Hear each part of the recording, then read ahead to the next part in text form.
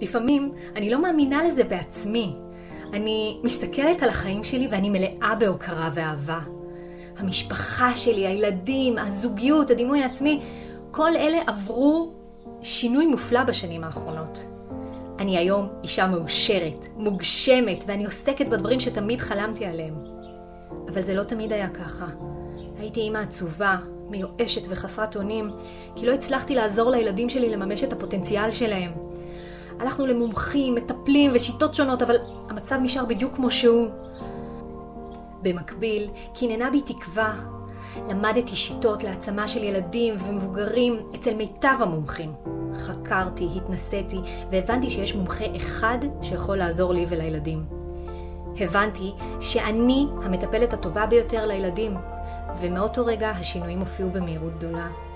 חיזקתי את הדימוי העצמי ואת התחושה שלי שאני יכולה להשיג מה שאני בוחרת. הבנתי שיש בי את הכלים לעזור לילדים והצלחתי לעזור להם לפתח דימוי עצמי מוצלח.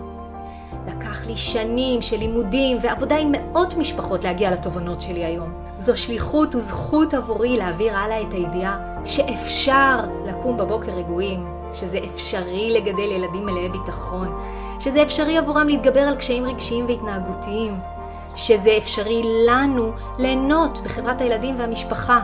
החלטתי לתת לכן הצצה לחיים, לתובנות ולשיטה שלי, כדי שגם אתן תכירו את הסודות לגידול ילדים שמחים, בטוחים ומצליחים.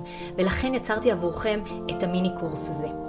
עכשיו מה שנשאר זה שכל מי שזה מסקרן אותה ומדויק לה, תקבל את זה. תצפה במיני קורס ותעזור לי להעביר את זה הלאה.